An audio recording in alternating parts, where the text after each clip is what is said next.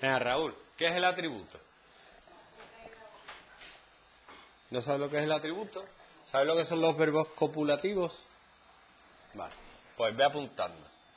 Los verbos copulativos son ser, estar y parecer.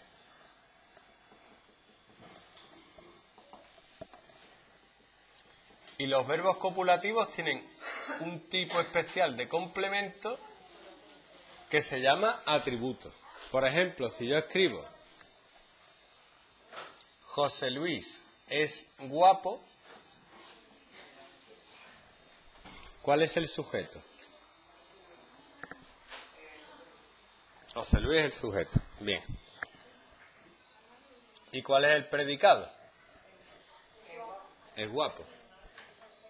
Me gusta que me lo diga, ¿vale?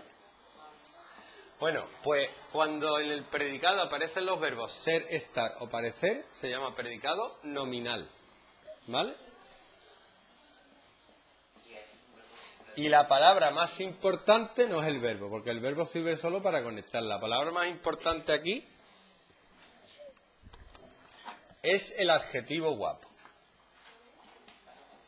Y hace función de, que es a lo que vamos, atributo. ¿Vale? Entonces el atributo es lo que se dice del sujeto. José Luis es guapo. puede ser un adjetivo, pero también puede ser un nombre. Por ejemplo, José Luis es profesor. Se analizaría igual. José Luis es el sujeto.